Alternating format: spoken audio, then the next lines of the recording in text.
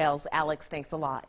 Former Rhode Island Supreme Court Chief Justice Frank J. Williams will be the commencement speaker for Mississippi State's three graduation ceremonies taking place next month.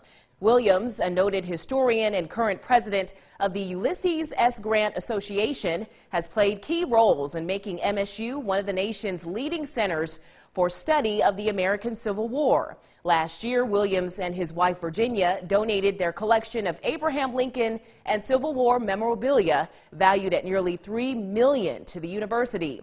Williams also was instrumental in locating the Ulysses S. Grant Presidential Library at MSU in 2009. Williams and former Mississippi House Speaker Pro Tem Robert G. Clark Jr. will also receive honorary degrees. Approximately 3,200 students will receive degrees during May 3rd and May 4th ceremonies at Humphrey Coliseum.